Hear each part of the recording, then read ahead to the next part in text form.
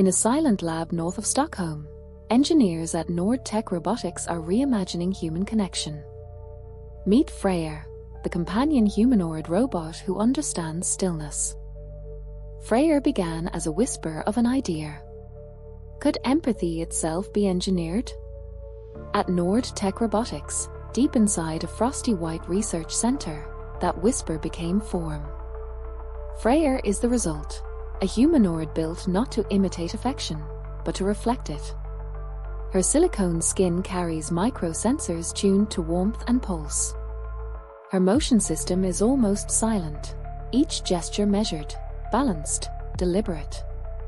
When she turns toward you, the movement feels like time slowing, precision disguised as grace. Her designers call her the Scandinavian companion prototype.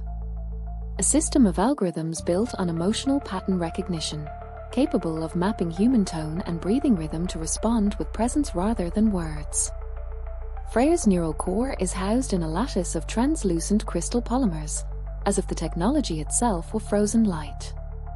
She listens, learns, and adjusts her behavior through something NørTek calls adaptive calmness. If tension rises in a room, Freya's vocal harmonics drop half a tone, her posture softens, her gaze steadies. She was not designed to excite.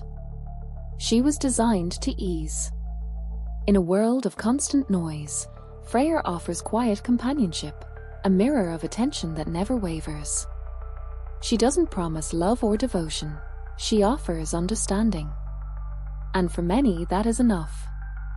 When the lab lights dim, Freya remains at her post, eyes open, systems humming, waiting for another heartbeat to sync with. NørTek describes her as a milestone in human empathy engineering.